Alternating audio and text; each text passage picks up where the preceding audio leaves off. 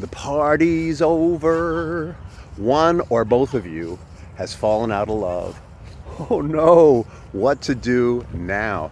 You still care for each other, you still love each other. Maybe there's still some chemistry happening, but it's just not the same. Well, this is normal and natural. Somehow we have been set up instinctually to have this in love period so that we can really see the best in one another, really experience that the other person sees the best in us. And this is a frame for the future or not future of the relationship, depending on what you set up in the in love period. Actually, I could do a whole series just on setting things up in the in love period.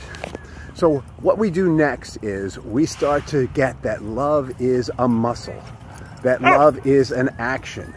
I'm not in the dog part here. Speaking of in love, these dogs are just having a wild time here. So that's what we're going to attack in this series. What's next after being in love?